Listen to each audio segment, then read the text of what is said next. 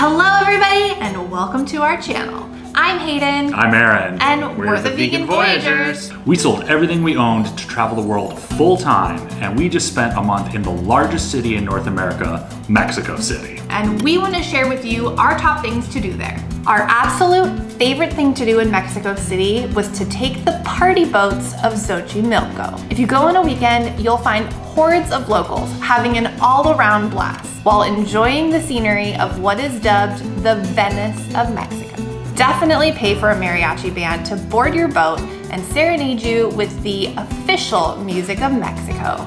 We got the mariachis on board!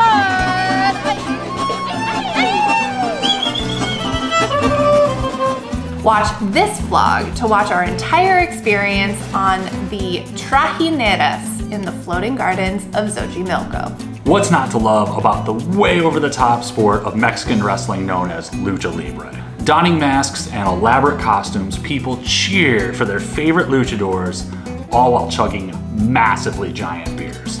Even if wrestling is not your thing, it wasn't my thing. You're still gonna have a blast watching this. Before you know it, you're gonna be rooting and yelling in Spanish right along with the rest of the crowd.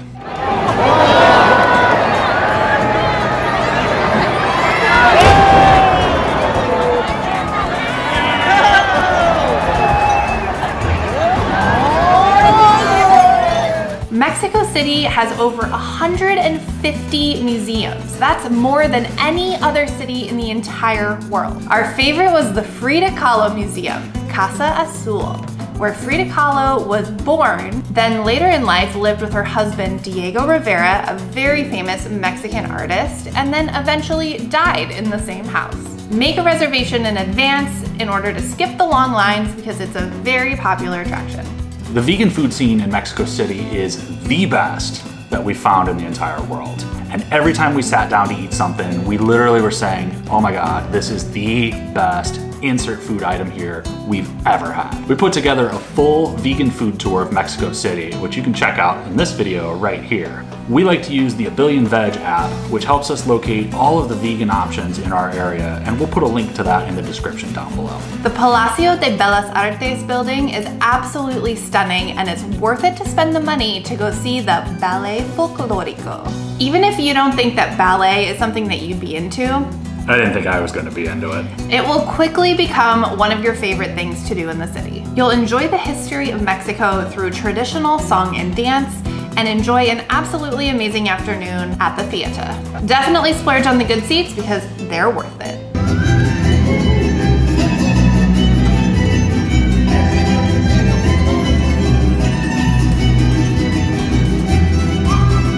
The best day trip from Mexico City hands down, has to be the ancient pyramids of Teotihuacan. This ancient city is shrouded in mystery, and no one's even really sure who actually built it. There you have the Pyramid of the Sun, which is the tallest pyramid in the world that you can actually climb. And you should. Just make sure you get there before the crowds. Watch this video to see our full day exploring Teotihuacan, where we even picked up an EVP, or an electronic voice phenomenon. We caught a ghost whispering to us. Woo! Inside the pyramids here, they've found mica, which comes from Brazil over 3,000 miles away. And it's an energy conductor, but it, it makes it so it doesn't get really hot inside. The Bosque de Chapultepec is a huge park right in the heart of the city. And it's even double the size of Central Park in New York City. In fact, we saw a lot of green spaces in Mexico City overall. Inside the Bosque, you can rent a little paddle boat to tool around one of the lakes inside of the park. And they even come in swan shapes. Sea snake! But what you must do is visit the Castillo de Chapultepec. So everything is in Spanish, so in our broken Spanish we're learning that basically the Spain came and massacred all of the indigenous people. And so a lot of these are like original um, paintings from the Spanish or original artifacts from the Mayans and from the Aztec people. Um, that's just about all we've gathered so far. Really old paintings. The castle has served many different uses throughout history, but today it houses the National Museum of History. There you'll find lots of interesting artifacts spanning the entire history of Mexico. Watch our full video where we explored the Castillo de Chapultepec and our next must visit destination, the Zocalo. The Zocalo is a massive square right in the heart of Mexico City.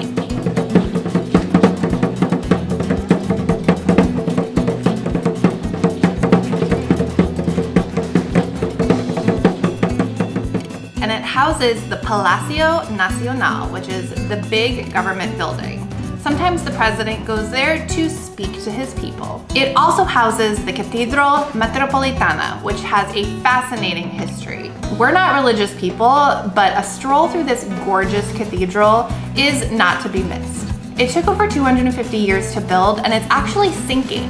In fact, the majority of the entire city is sinking. The cathedral was built on top of the ancient Aztec capital, Tenochtitlan, which you can see right there in the Zocalo at Templo Mayor. You can't go to Mexico City without trying tequila and mezcal.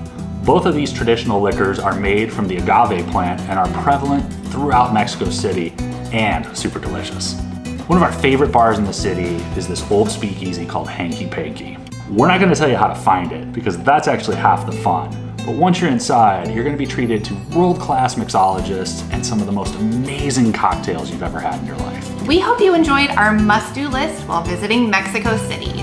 Leave a comment down below if we missed your favorite thing in the city. Please hit the like and the subscribe buttons because they really help our channel grow and it allows us to continue to bring you content just like this. Thanks, so much, for watching. See you next time. See ya.